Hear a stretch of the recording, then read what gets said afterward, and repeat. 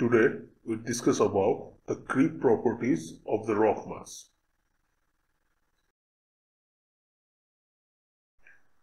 Creep is deformation over time under normal static load condition.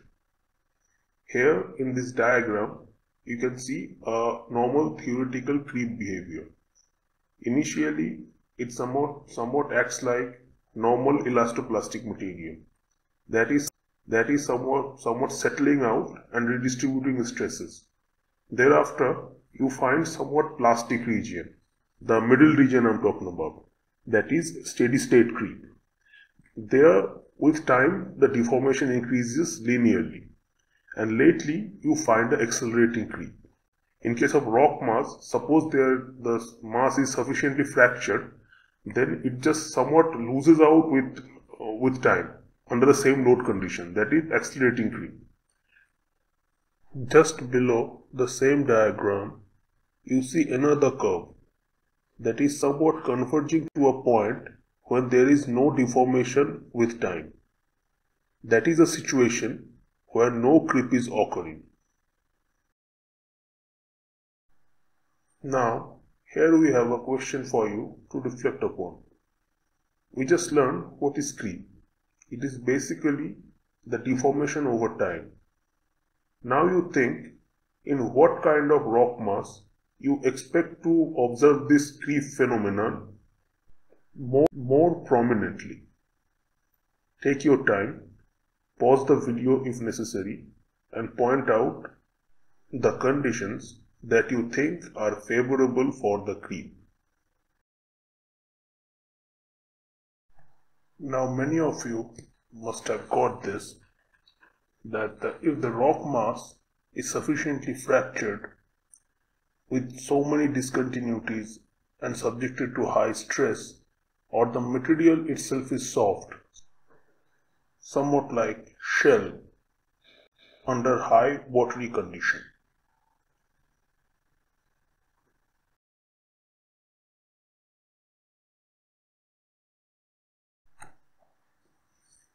The early work in the creep phenomenon of the rock mass were related to study of the time-dependent shear strength of the rock, the study of post-failure behaviors of the GOF, and related to, to the earthquake sciences.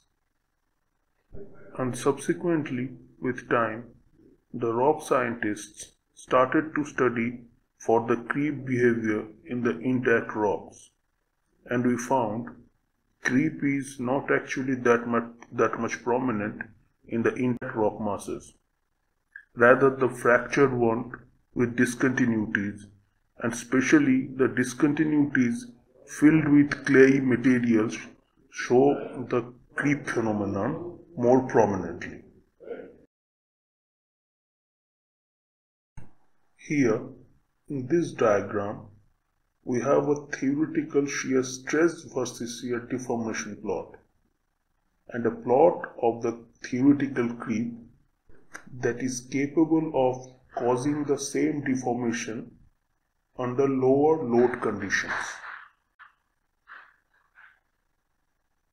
That is how long run strength of a rock mass that is creep strength is much lower than the short time dynamic strength of a rock mass. This is the inference that we got to grasp here. Now, with some physical understanding of creep and with some understanding that why understanding creep behavior is important for rock engineers, let us see how rock scientists model the creep behavior. The creep behavior is basically a function of time. It is deformation as function of time.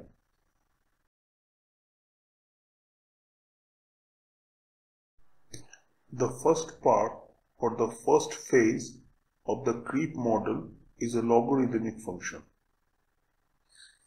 which rises with a decreasing slope. And the next part that is phase 2 is basically a linear function and the last and the last phase is a polynomial. In some of the textbooks, you will also find this mathematical model is represented as differential of time equals to some constant multiplied by t to the power n. Where for n equals to 0 it is the linear function. For n equals to minus 1 it is logarithmic one and for n greater than 1 it is the exponential portion. It is basically the same equation expressed in a different way. Now this was about expressing this mathematically. In the coming slide, you will see how rheologically we model this creep function. Rheological model means when we try to model a complex system as a simplified system and then we derive expression for this simplified one. Here, the diagram in the slide is Burgers, is Burgers rheological model, which is often pronounced as Burger's rheological model. This model is basically the combination of springs and the dampers. Now let's have a brief introduction of Maxwell and Kelvin block material first. As you can see in the diagram, the Maxwell model is basically a spring and a damper connected in series. There are a group of Maxwell materials that follow these kind of rheological phenomena. For example, you can consider a dough of wheat as a close example of Maxwell material. Next, the representative model of Kelvin materials are basically a spring and a damper that are connected parallel. A good example of Kelvin's material can be seen as a somewhat like a sponge. A sponge that has some viscous nature when you compress it, it feels like somewhat plastic, but when you leave it, it restores back in its, in its old position. Next, combining these two models, Burgers proposed his model, and this model found to be capturing the creep phenomenon more accurately. Another point I would like to add in this slide that all of you might have guessed it correctly that this Maxwell is the same person who proposed the Maxwell equation and the, this Kelvin in this second model is the same Lord Kelvin on whose name we have this Kelvin scale of temperature. After you have some understanding of mathematical and rheological representation of the creep model, I expect you to understand that you see this curve as linear combination of three curves. That is a linear function that is somewhat like Maxwell materials, a logarithmic function that is somewhat close to Kelvin's material, and an exponential function that is somewhat related to a highly fragmented rock mass or you can very closely see it as a uh, as a heave of a sand. These three properties joining together gives rise to this creep phenomenon. Now, after we've gone through these concepts, now I want you to think upon what are the factors that you think can influence the creep behavior? This time, I expect you to be more technical and insightful about discuss, discussing these points than what we had in the first reflection point. You can pause the video and take your time and note down the points that come in your mind.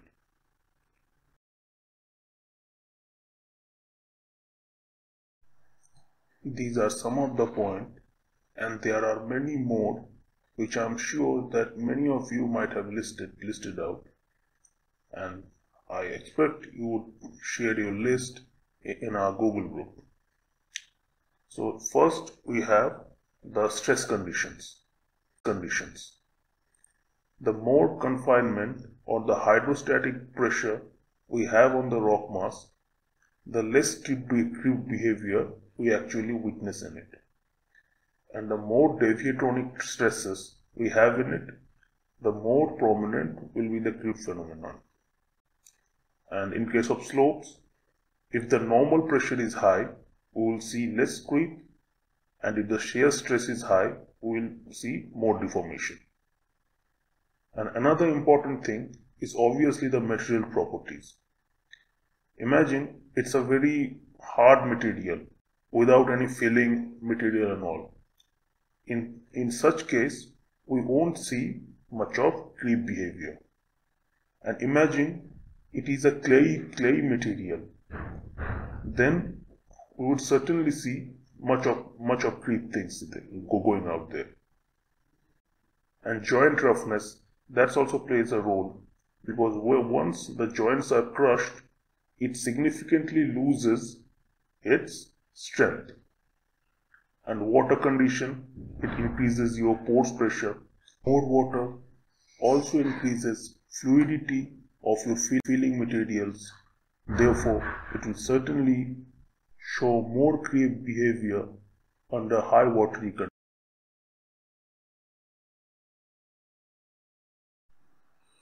Now here are a few key points that we always keep in our mind about the rock creep that the major rock creep phenomena that we see are due to the movement along the rock fractures and joints. Secondly, it is less likely that we see material level creep in the rock masses under normal temperature. Next, more filling material in my discontinuities means more creep phenomenon we shall be able to witness.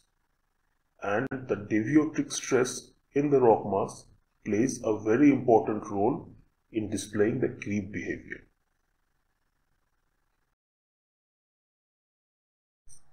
Shortly I would upload the assignments related to this.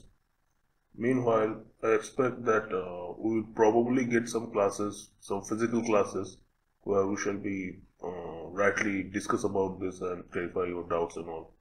Otherwise, you always have the option of uh, using that, that Google forum. Ask your questions there. Maybe um, throughout the discussions, we'll get to clarify other doubts and related things. So thank you very much.